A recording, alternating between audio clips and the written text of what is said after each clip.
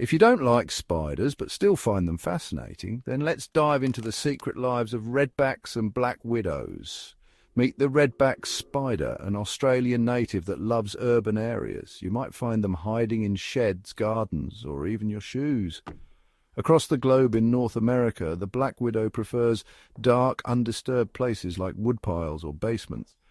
Both spiders are shy and non-aggressive, but will bite if they feel threatened. Now, let's add a touch of suspense. Their mating rituals are infamous. Female redbacks and black widows are known for their gruesome behavior, sometimes cannibalizing their mates after reproduction. This deadly dance is more common in black widows, making them the ultimate femme fatales of the spider world. In the end, whether it's the redback's stealthy Australian hideouts or the black widow's iconic hourglass, these spiders are a reminder that danger often comes in small glossy packages. Respect them from a distance. They're not to be trifled with.